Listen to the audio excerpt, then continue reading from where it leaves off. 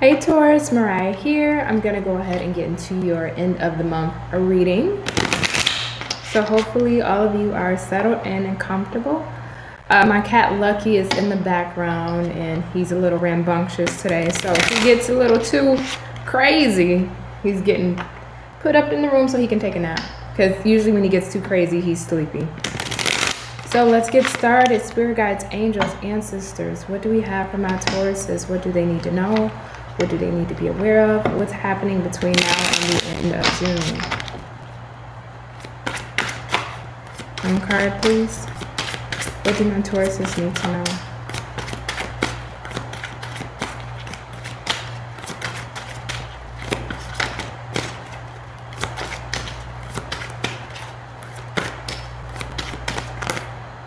Okay, well we got two.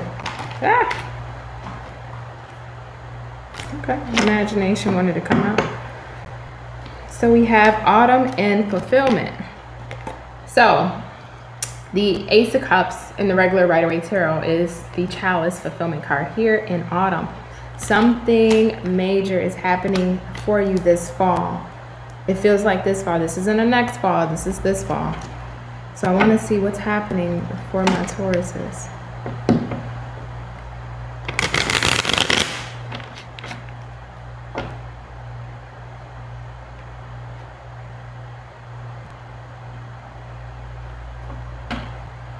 I'm sorry I'm getting a little quiet. Spirit's trying to tell me something. I'm just trying to listen in.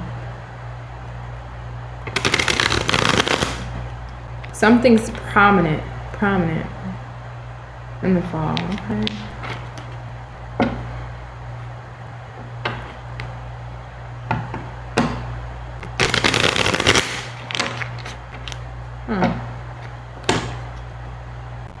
It's like I'm hearing a message from spirit, but it's it's almost muffled.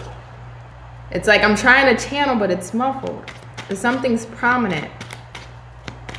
I don't know if there's a prominent opportunity, a prominent love connection, a prominent um, experience that's gonna happen in the fall. So we have the fourth earth in the reverse coming out. What else is coming?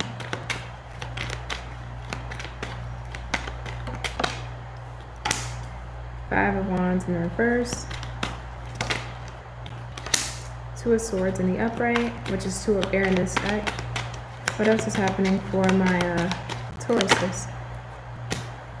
Nine of Fire, Nine of Wands. Last card, Spirit. Seven of Swords.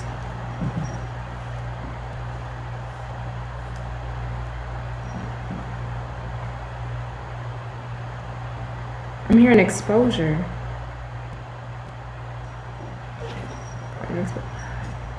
Is that what's happening?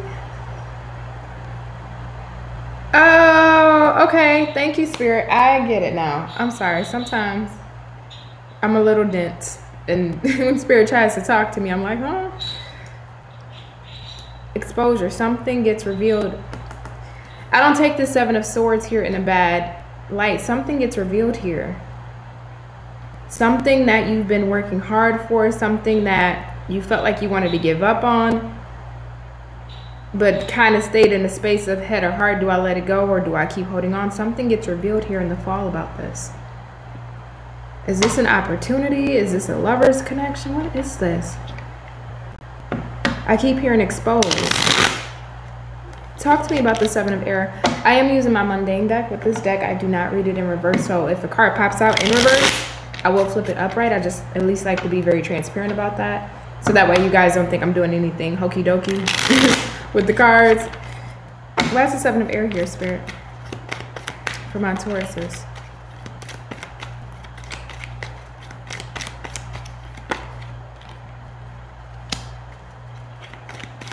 Seven of air. Why is the seven of air here?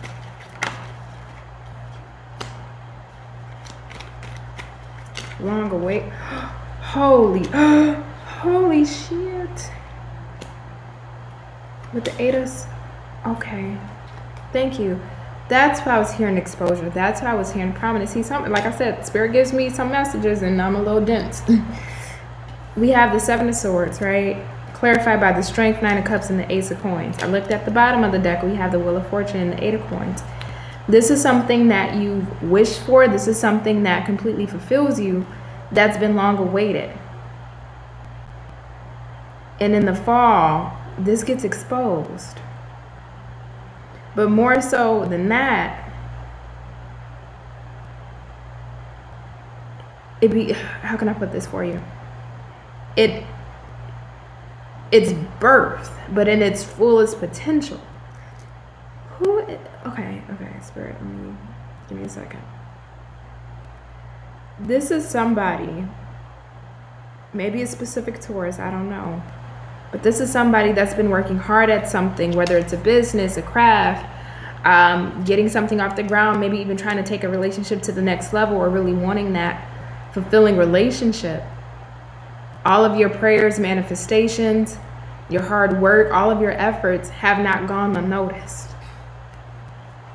And with the strength card here on the Seven of Swords, it's taken you a lot of strength because I can see that with the Five of Air in reverse. It's taken you a lot of strength to keep going or fighting for something or trying to build something up that at times you wanted to give up on because you felt like it wasn't going to happen, it wasn't going to manifest, you didn't see how it was going to come to fruition. But in the autumn, this fall, which fall starts what mid September, this comes until its fullest bloom. So say say Taurus, if you've been working on a business or wanting to be an entrepreneur or maybe start up that YouTube channel or that podcast um, and you've been grinding at it, grinding at it, and you've been seeing slow growth, but you know, slow growth is still progress. In the fall, that's where this fully blows up. Something there's ex- exposure. That's why I was hearing exposure. Something's getting exposed, so it's holy shit. Congratulations. Congratulations, Taurus whatever you're doing now, something gets exposed. You get exposure for whatever you're doing. So if you're, holy, this is bigger than I thought. Okay. Um, okay. Thanks, Spirit. This feels like for one of you Tauruses out there, or maybe multiple something you've been working very hard on, trying to get it off the ground, really trying to build it up. Times you felt like you just wanted to let this go. Maybe it's not for you. Maybe it's just not going anywhere. It, will this really succeed, right? That two of air energy, head over heart. Do I keep persevering? But yes, you do. And yes, you did. Nine of Wands, right? You kept persevering past this. What happens in the fall is whatever you're doing, it's the accumulation of all of your efforts coming to the light this fall. There's something that goes viral that blows up. You get exposure, you get that contract, you get that deal, that relationship improves, you gain that relationship you want. Something about this blows up for you, Taurus. What the hell is this? It, it, you're about to, when I tell you you're about to blow, especially with this ace of coins, either that opportunity comes right in that job and everything comes in right in in the fall, or in the fall, whatever you've been working on blows up, but it blows up in a big way. Congratulations to you. But I'm hearing I'm not surprised. Spirit's not surprised. Spirit knew you could do this. Spirit's not surprised. Spirit's not surprised at all by this. I want to actually clarify this fulfillment card. Let's get a couple cards out on this. Why is fulfillment here, Spirit? Five of coins. Why is fulfillment here, Spirit? The hangman. Yep. Why is fulfillment here?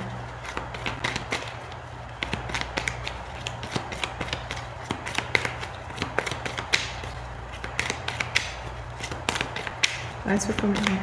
I can't. Nine of Wands again. Nine of Swords. And the Four of... Oh my gosh. Seven of Swords on the bottom. You didn't... And the High Priestess underneath. You... you oh, okay. I'm sorry. Sometimes I get overwhelmed. Um, you know what, Taurus? You're very resilient. And you're very stubborn. I know because my moon is in Taurus. This is the epitome of don't give up. You never know when that day comes, when it works out, or when you get that yes, or you get that approval, or you blow up. This is literally the epitome of that. Because the Nine of Wands to the Nine of, Nine of Swords, and the Four of Cups, not knowing when this is going to happen, in your head about this, feeling like this opportunity is passing you by despite all the work and due diligence you're doing, despite all the effort you're putting in, right? It's just not going anywhere. The hangman. Putting in time after time, day after day, month after month, some of you even year after year, of trying to get something off the ground. And you're not seeing any results with the hangman and for even for some of you losing out financially a financial loss because of whatever this is that you're you're wanting to come into come into fruition but it, it just never manifested. But it does. And with the seven of swords and the high priestess you don't see this coming. Oh my gosh. I feel like I'm, I'm being taken aback because it's because I can feel the energy of a Taurus just working relentlessly, trying to get something off the ground relent- relentlessly, putting in their time, effort, and energy day in and day out, and just not seeing any re- results or any fast results of something. But Taurus, this blows up in your face in the best way possible. And I love the fact that I have the Nine of Wands here twice, both upright, of course, because it's the fact that you stayed resilient. Your endurance and your stamina has taken you this far, and you didn't come this far just to get this far. You have to push on. You're so close. And it's okay to walk just for a moment. You know, you get tired, you get weary. But the fact that we're literally um, well, we gotta still get into summer if you're in the northern hemisphere, but fall is not too far away. This blows. Oh, I'm sorry, I'm on like cream and everything. Um, this blows up for you. Holy shit! Why is the nine of, nine of fire here? I am in total awe. Yep, the emperor. You stayed you stayed very stubborn to this. You stayed very resilient to this. You weren't giving up on this. You knew that this was for you. The lovers and the four. Yep, you held on to it. You knew this was for you. The lovers here. You knew that this was for you. You knew that this situation was for you. This opportunity was for you. Even if you guys are dealing with a lover situation, that this connection was for you. But I'm more so feeling like this is in regards to an opportunity or some type of endeavor you're taking or some life path or even a career or going an entrepreneurial route you knew that this was for you. And you never gave up with this four of coins. You stayed very stubborn, very bullheaded, just like your, your sign with the emperor. You didn't budge because you knew that that day would come one day and it's coming in the autumn. Oh my gosh.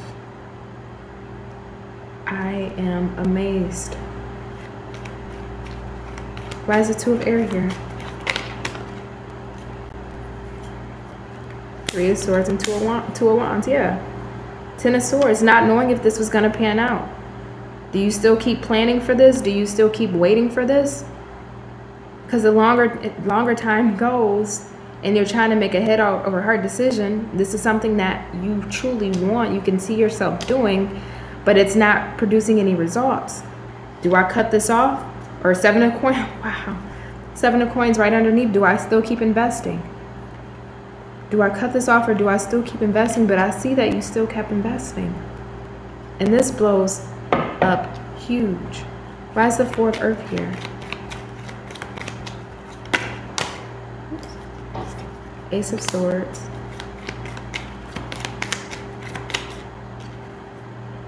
And the Two of Cups.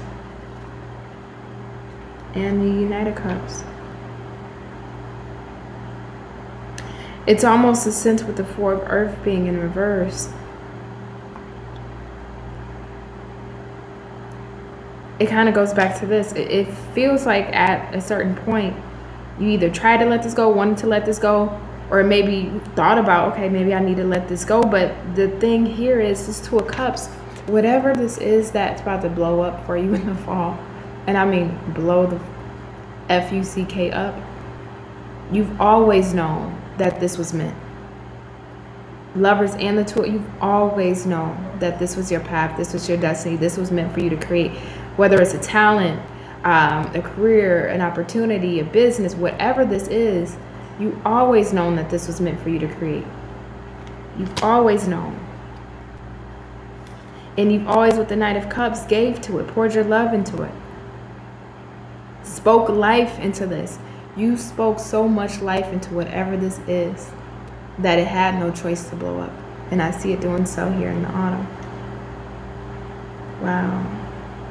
This is beautiful, Taurus. I just want to say congratulations to you. This is this is amazing. And not only will you be changed forever by this, but Taurus, this energy right here,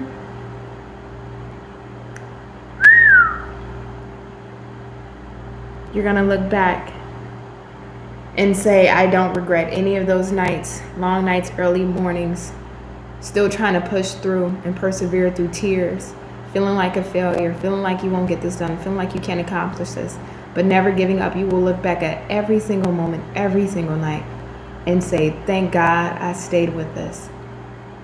Because when I, I just can't imagine, I can't tell you how transformative, how transformative, there we go, this is. Taurus, I love you. And all the success in the world best be bestowed you.